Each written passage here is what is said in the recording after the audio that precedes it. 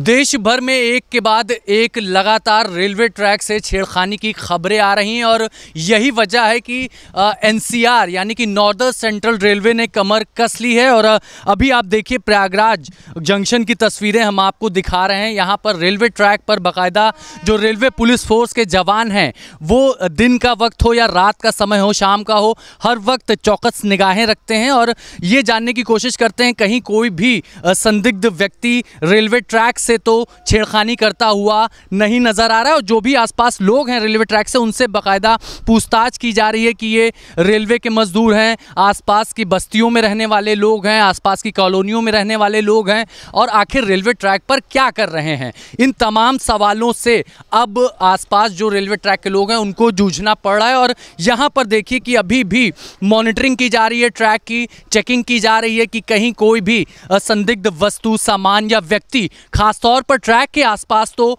नहीं नज़र आ रहा है। हम आपको बताना चाहेंगे कि यहाँ से प्रयागराज जंक्शन से आगे की बात करें तो हम सूबेदारगंज रेलवे स्टेशन आता है। इसके अलावा आ, कहा जा सकता है बमरौली रेलवे स्टेशन आता है। तो अलग अलग रेलवे जो मास्टर हैं स्टेशन मास्टर हैं उनके क्षेत्र उनके जुरिडिक्शंस के एरिए में अलग अलग निगरानी की जाती है। इस लाइन की बात की जाए तो इधर प्रयागराज जंक्शन के अलावा फाफा मऊ जंक्शन आता है तो आप समझ सकते हैं कि जो लगातार घटनाएँ हो रही हैं, और प्रयागराज में भी घटना हुई थी, जब रील बनाने के कारण एक युवक ने ट्रैक पे बाकायदा सिलेंडर रख दिया था, साइकिल रख दिया था, और उसके बाद तुरंत एक्शन लेते हुए उसे गिरफ़्तार किया गया और जेल भेज दिया गया। अब साफ़ तौर पर यह हिदायत दी गई है कि रेलवे ट्रैक के आसपास अगर कोई भी व्यक्ति रील बनाता हुआ पाया जाएगा तो उसे तुरंत गिरफ़्तार करके जेल भेज दिया जाएगा। यानी रेलवे प्रशासन अब कोई भी कोर कसर नहीं छोड़ना चाह रहा है क्योंकि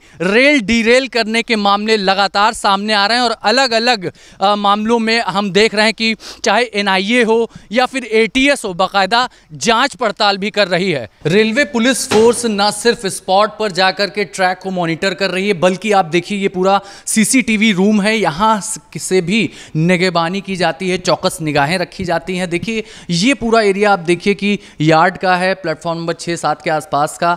यहाँ से भी अगर कोई संदिग्ध व्यक्ति नज़र आता है, कोई संदिग्ध वस्तु नज़र आती है तो यहाँ पर जो रेलवे पुलिस फोर्स के जवान हैं ऑफिसर्स हैं, वो स्पॉट पर मैसेज करते हैं और तुरंत उस तरह की स्थितियों से निपटने की कोशिश की जाती है।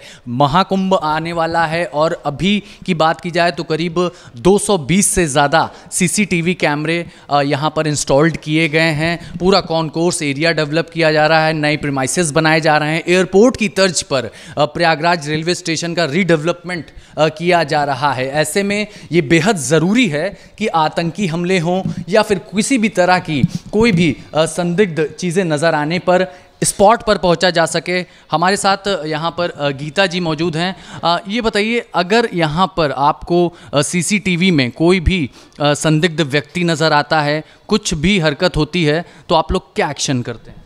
अपने उच्च अधिकारियों को सूचना देते हैं कोई भी ऐसी एक्टिविटी देखते हैं आपराधिक दस्तावेज़ कुछ है तो अपने उच्च अधिकारियों को सूचना देते हैं जिससे कार्रवाई तुरंत होती है। यहाँ की बात की जाए तो यहाँ से ट्रैक मैं देख रहा हूँ प्रॉपर मॉनिटर किया जा सकता है।